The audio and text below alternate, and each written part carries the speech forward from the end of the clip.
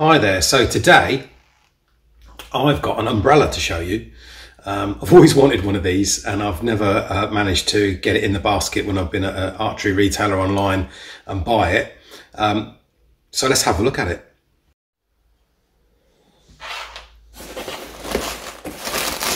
There we go.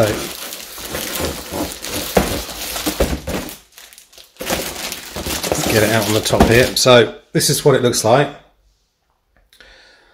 It just comes in a plastic sleeve. So unfortunately, just move my DJI cover, DJI cover out of the way. Um, unfortunately, it doesn't come with a uh, rain cover sleeve or anything like that. So unfortunately, you're going to have to make one or find one um, from another umbrella. And then once you get the plastic sleeve off, it's got a very nice textured handle. It kind of reminds me like a, a riser grip, to be honest. And then it's got a JVD. This is the JVD edition, by the way, of course. Um, it's got the JVD tag still on it. Velcro uh, strap here to keep it together. And then if you go down to the bottom end, um, it's got a plastic uh, end, so it's not metal, and then a bit of a rubbery uh, kind of cap part on the end here. I think a lot of it is actually plastic all the way through, but um, I'm going to open it up now so you're going to get a good look at it. And then we'll have a look at the insides um, just so that uh, we can test with a magnet if there's actually any metal parts inside, although I do think it's all plastic. Okay, so we've moved to another room so we can just get a wide angle shot. So it does uh, open automatically on its own and here's the button just here under my hand. So I'm going to hit it with my thumb. We're going to see this baby open up. Oh, yeah. Spring is pretty good on here, actually. Um, so one hand use on this.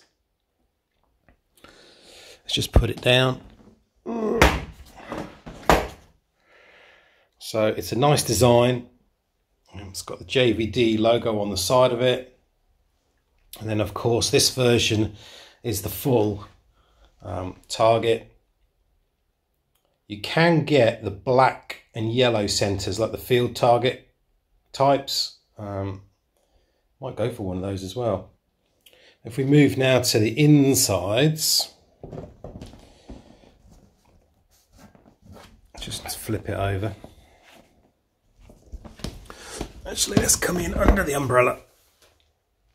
So as I say, we've got the handle down here um, with the push open part. It won't close on its own. You need to just pull the uh, hand, the part down. You just need to pull this part down in order to close it up. You can see the big spring here in the middle, which is, which is why it's quite powerful when you open it up.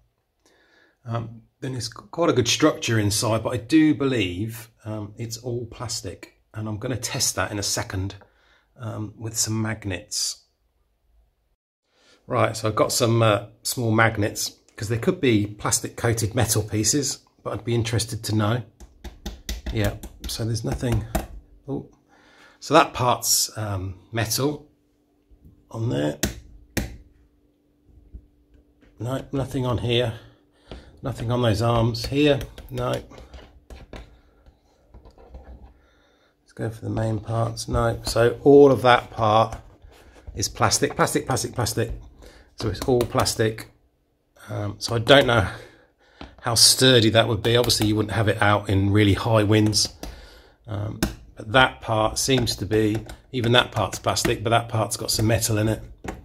And obviously the, the spring is metal, but even the top part right up here is plastic as well. So yeah, so yeah, so they are the main pieces. So there's not a lot of metal in this.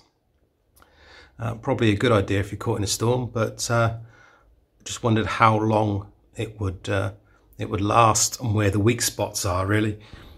Because there's some small rivets in here as well, but obviously you won't know until I use it, and I haven't used it.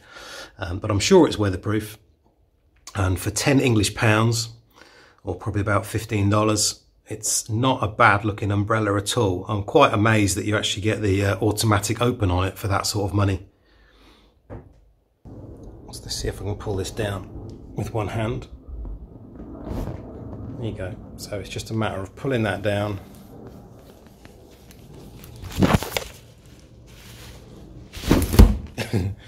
there it goes again. And then you just click it back into the locking mechanism, which is a piece of metal sort of sitting up. And then you're ready to go again. Um, I've got a golf umbrella actually where these pieces fit inside a little cover, uh, inside a little rim edged bit in here, but you don't get that with this one. Okay, so that's the JVD archery umbrella.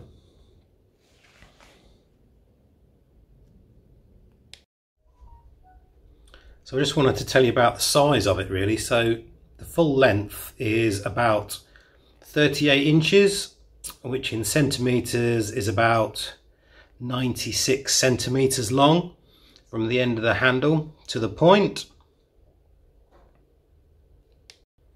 So about five to six centimetres wide, depending on how much you kind of compress the umbrella down.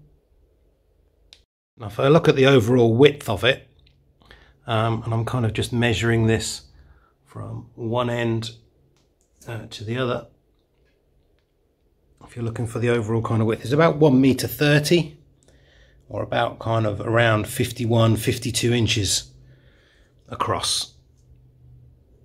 So it's quite a big umbrella. Kind of just to finish off to give you every single measurement you can. Up to the top there, the full handle is 29 inches, 74 centimetres. Um, or about two feet for the pole, excluding the handle. So 35 inches, 88 centimeters from the full length of the handle down to the uh, roof of the umbrella to the insides. So that's the end of my um, umbrella review. I hope you enjoyed it.